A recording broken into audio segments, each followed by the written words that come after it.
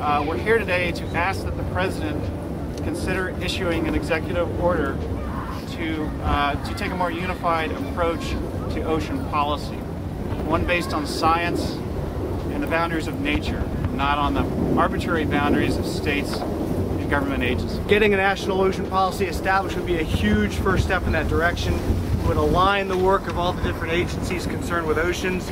It would set us off on, on policy consistency and bring us hopefully to a time when we've got healthy, thriving oceans. I just wanted to make sure that we all continue to rally behind the White House, behind the President, continue to encourage them to move forward with the original timeline that they were talking about, and to tell them how incredibly excited we are that this is actually going to move forward. Uh, these kids that I'm meeting are, are really incredible, and we owe it to them to spread the word and make sure they have a blue ocean to look forward to. Here in the country, President Obama's got a really great start.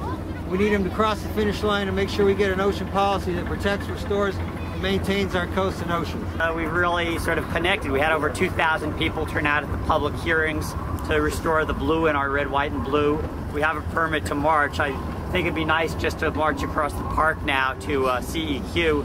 Uh, thank Nancy uh, Sutley, who's leading the National Ocean uh, interagency task force and, and to have people in government who not only know what they're talking about but listen to the people.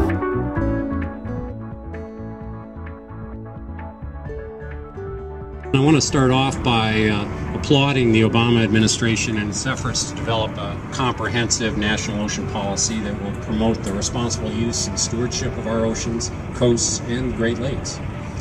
You know, the river is our greatest resource for restoration, and yet we have all kinds of different things that we want to do with it. There's a federal policy that requires those agencies to sit down and talk, just as you're seeing now with the the Council on Environmental Quality bringing those agencies together.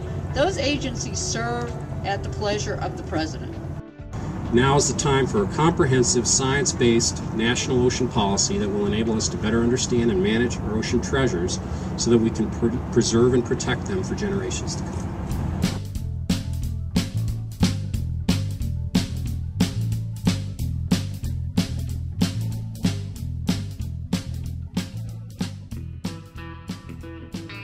And with us sending the kind of message we are sending across the country today, we are about to have uh, a historic first ever national ocean policy ensuring the future of our oceans. We've got to somehow protect our oceans, the waterways, and our marine sanctuaries, and all along our coastline. Nationally, we must reignite, I think, a grassroots effort, effort focused so that this country our states and our cities are united in the principles of us having strong protections for our coasts, for our oceans, for the Great Lakes. Ocean. Ask anybody. We all love the ocean, but we don't live. He loves the ocean. Somebody, somebody give them a blue marble. Nobody hates the ocean. Everybody loves the ocean, but we don't live like we love the ocean, and that really is the task at hand. We need to send these blue marbles forward and we need to make our oceans our priority and the center of our attention because they do take care of us. Wear blue for oceans and support a stronger national ocean policy. Uh, my name is Philippe Cousteau and of course I'm out here to support oceans. I'm here uh, to support a strong conservation-based national ocean policy. Wear blue for the oceans. So everybody wear blue for the ocean. Wear blue for oceans, Jay. January 13, 2010 was fantastic. Wear blue for the ocean.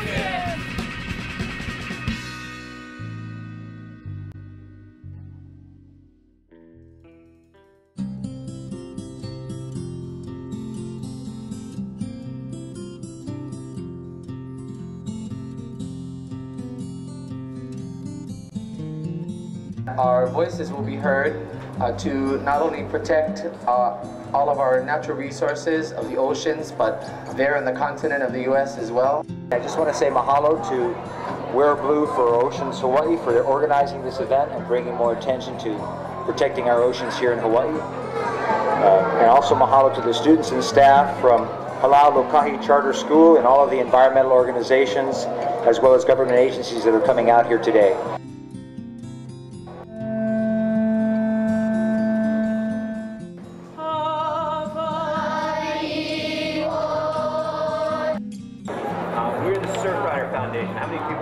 Serve Foundation. All right. All of the garbage that we use at home and at work and in school, some of it ends up in the ocean.